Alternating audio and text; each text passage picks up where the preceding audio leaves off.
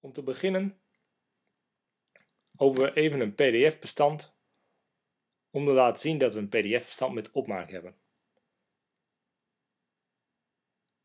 Wanneer je deze tekst gewoon selecteert en plakt in Word, ben je de opmaak kwijt, zoals bijvoorbeeld de kleuren die erin staan. Op je Mac kun je dit ook met Automator anders doen, zodat je de opmaak van deze tekst behoudt.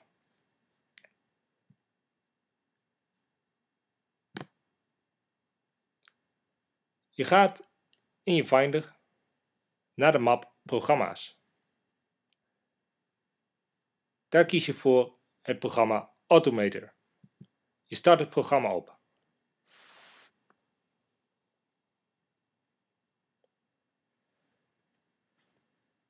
Je ziet nu enkele keuzes staan. Ten eerste kies je voor een takenreeks. Klik op kies.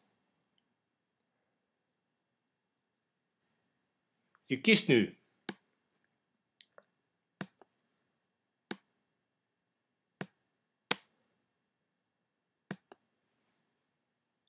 Je kiest nu aan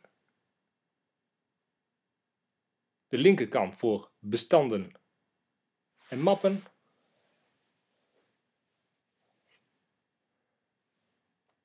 En je kiest voor haal opgegeven Finder onderdelen op. Dubbelklik daarop en het Automator vak verschijnt. Kies nu Voeg toe.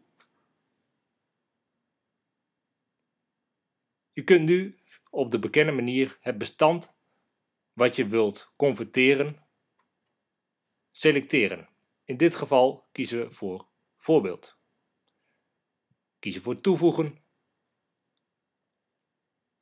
Je gaat nu naar de linkerkant in de takenreeks.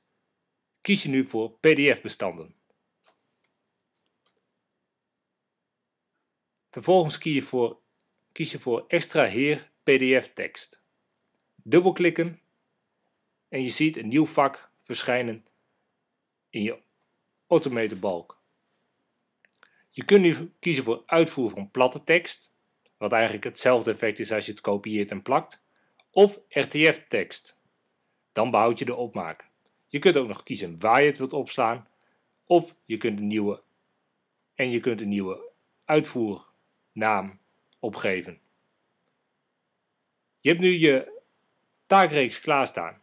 Kies nu rechts bovenin voor Voer uit.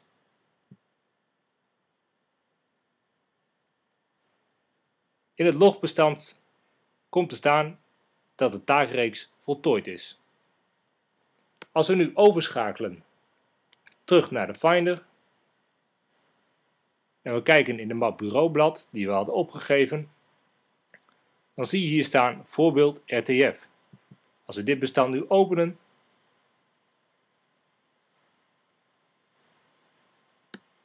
dan zie je dat het bestand overgenomen is inclusief hoofdletters, de kleuren, de opzommingstekens, etc.